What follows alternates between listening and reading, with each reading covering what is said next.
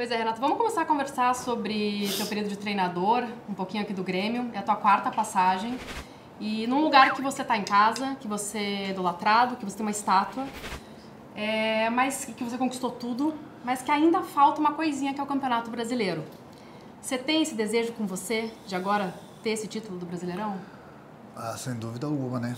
Corre atrás desse título do Campeonato Brasileiro que como treinador eu, eu não tenho. E é um desejo meu. A gente tem trabalhado bastante, nós estamos bem na, na, na competição. Falta muita coisa. Agora, sem dúvida alguma, é um sonho que eu tenho de conquistar esse Campeonato Brasileiro. E até para provar um pouco, Renato, não para os outros, que eu sei que você não é um cara que precisa disso, mas para mostrar que você não é só um treinador de mata-mata e que você também é um treinador de pontos corridos. É, é, eu, eu, gostei, gostei do, do, comentário, da pergunta, porque todas as vezes que eu disputei o Campeonato Brasileiro, eu praticamente com o Grêmio cheguei sempre entre os quatro. Uhum.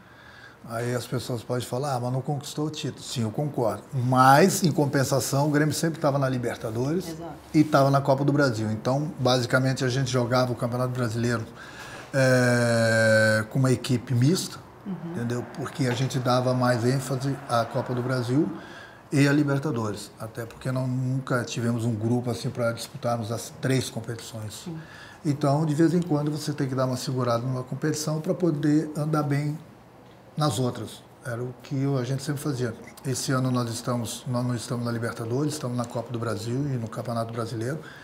Então dá para praticamente andar nas duas competições. Você é um cara que treinou praticamente todos os clubes que você jogou. Eu fiz o dever de casa, tá? Fiz lá a comparaçãozinha. Só faltou Cruzeiro, Atlético Mineiro, os dois de Belo Horizonte, o Botafogo no Rio, tem a Roma, mas está fora do Brasil. Você tem o desejo de treinar um desses clubes? Olha, eu, é a minha profissão, né? A minha profissão é de treinador e o importante, o mais importante de tudo é você ter emprego, né? Ter sempre os convites, sem dúvida alguma. Então, eu tive no Grêmio, depois fui pro Flamengo, depois eu tive o convite novamente por parte do, do Grêmio. Eu nunca vou falar, ah, esse clube eu não vou treinar, ou aquele clube eu gostaria, ou esse aqui eu estaria satisfeito. Eu sou profissional, vou treinar. O único clube, com todo o respeito, que eu tenho por eles, que é o nosso maior adversário, que é o Internacional, esse clube sim, eu jamais esse treinaria.